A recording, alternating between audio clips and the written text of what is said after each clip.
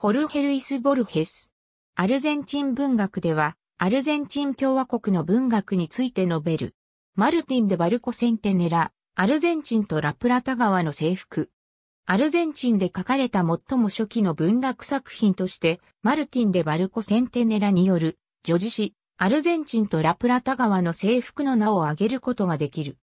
現在国名となっているアルゼンチンの語が初めて用いられたのはこの作品だった。1810年にブエノスアイレスで5月革命が勃発し、リオデラプラタ副王領が独立運動に入ると文学的な模索は急速に進んだ。政治的なものとしては、マリアーノ・モレーノによるルソーの社会契約論の翻訳や、マヌエル・ベルグラ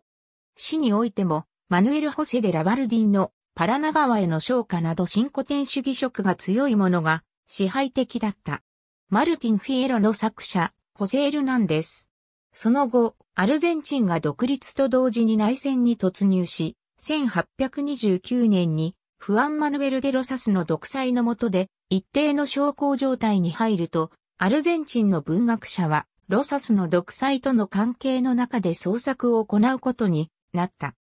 ロマン主義の導入者、エステバン・エチェベリーヤ。この時期にロマン主義を導入したのはエステバン・エチェベリアであり、アルゼンチンはイスパノアメリカで唯一スペインを経由しないでロマン主義を導入した国となった。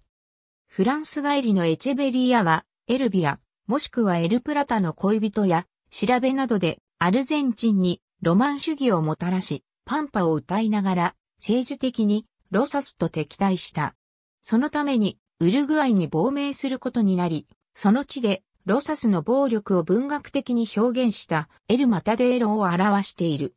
他に同様のテーマを扱った作品にホセ・マルモルのアマリアが存在する。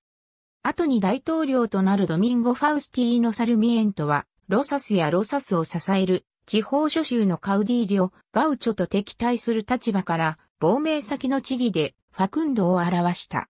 ラ・リオハ州のカウディーリョ、フアン・ファクンド・キロガの電気とヨーロッパ流の自由主義とロサスやガウチョに象徴される土着を文明と野蛮とみなす思考から描かれる独特の作品は単なる政治コミュニケにとどまらず、サルミエントの文学の傑作となった。サルミエントはガウチョへの評価をめぐって、後の1853年憲法の事実上の起草者であるフアン・バウティスタ・アルベルディとの論争を行い、アルベルディも後に政治的な小説、昼の光の純歴、もしくは新世界における真理の旅と冒険を表している。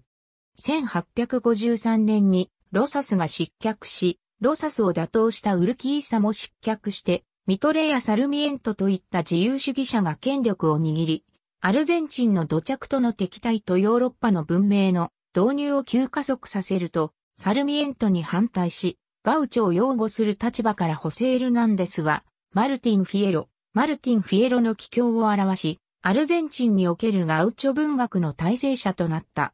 詩人、レオポルド・ルゴネス。19世紀末にニカラグアのルベン・ダリオがモデルニスモ文学を主導すると、ダリオが1893年から1895年までブエノスアイレスに滞在したこともあり、アルゼンチンはモデルニスモの一つの中心となった。レオポルド・ディアスやボリビア出身のリカルド・ハイメス・フレーレ、そしてレオポルド・ルゴネスなどがダリオを中心に集まった。ダリオの影響を受けた黄金の山々から創作活動を開始したルゴネスは無政府主義、社会主義、国家社会主義と政治的な立場を変えながらも一貫して象牙の塔を拒んだ大衆の指導者たる詩人であり続けようとした末に自分の無力さを悟り自殺した。フリオ・コルタサル。20世紀に入ってからは、小説がジャンルとして拡大し、歴史小説家のロベルト・ジェイ・パイロやマヌエル・ガルベスなどが活躍した。1920年代には自然主義的な観点からガウチョ文学が再創造され、ベニト・リンチの骨広いのイギリス人やガウチョ小説の傑作となったリカルド・クイラルデスのドン・セグンド・ソンブラなどが生まれた。詩においては、モデルニスモの旋風の後、後期モデルニスモの1920年代には1924年に創刊された雑誌、マルティン・フィエロによった前衛史グループが生まれ、マセドニオ、フェルナンデス、アルトゥーロ・カプデビラ、エセキエル・マヌエル・エストラーダ、リカルド・モリナリ、レオポルド・マルチャルなどがこの派に属したが、中でも最大の人物はホルヘルイス・ボルヘスだった。ウルトライスも、出地主義、超優美主義、刑事上的作家など、多種多様に呼ばれるボルヘスは、アドルフォ・ビオイカサレスと共に、詩、散文、文芸批評など様々なジャンルを横断しながら活躍し、アルゼンチン的でありながらもコスポモリタンな態度で、ブエノスアイレスの熱狂、永遠の歴史、ドンイシドロパロディ6つの難事件、電気集、ブロディの報告書など、多種多様な著作を残した。20世紀後半のラテンアメリカ文学ブーム前後には、実存主義的な傾向を持ったエドアールド・マリエアや、恐怖小説のエルネスト・サバト、1951年にパリに移住し、以降亡命文学を主導したフリオ・コルタサルが活躍した。ありがとうございます。